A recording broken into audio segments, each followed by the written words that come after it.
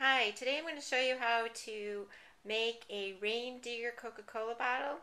It's um, relatively easy, but I went ahead and um, purchased the Coca-Cola Christmas bottles, so they're a little bit smaller.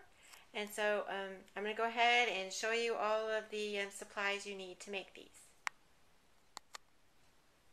These are the supplies you're going to need to make your uh, Christmas reindeer with your Coca-Cola bottles. You don't need this many um, brown pipe cleaners, but I've bought this many because I'm making at least six um, packs of these. But you do need brown um, pipe cleaners. And you also will need some googly eyes. And I bought the ones that have the sticky back on them. These have a variety of sizes in them, but and I've gotten all this stuff at Michael's. Um, so you can make a one-stop shop trip. And then the other thing I got was sparkly um, pom-pom. Um, they're glitter pom-poms, um, red. And then I went ahead and picked up some of the Christmas ribbon. And um, that's what you need to make your reindeer. The other supplies are scissors and your glue gun. So I'm going to go ahead and get started telling you how to cut some of this stuff.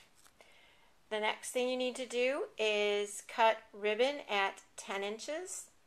And then you're going to need one pipe cleaner for each uh, reindeer that you do. And then you're going to need a second pipe cleaner. But if you're making multiple, it's not going to be a waste because you can get, um, I think, three sets out of each pipe cleaner. These are two and a quarter inches. Um, and these are for the end of the antlers. So I'm going to go ahead and start showing you what I do to make the reindeer. Okay, first I find the center of my pipe cleaner and um, just bend it so I have some idea so I can make the antlers look even. And then what I do is I take the small piece that's two and a quarter inches and I place it underneath my um, pipe cleaner about the same, it looks like a T. And then all you do is twist it around one time and that's all that's needed um, to make your antlers.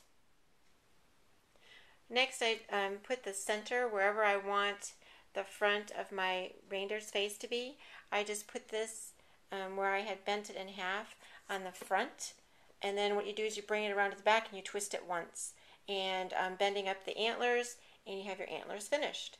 The next thing that I would do is I would just go ahead and put the two sticky eyes on and then using the glue gun you put the nose right underneath there and then um, the ribbon would be tied underneath the nose and you're finished and that's um, you'll just end up with your cute little reindeer face. Thanks for watching.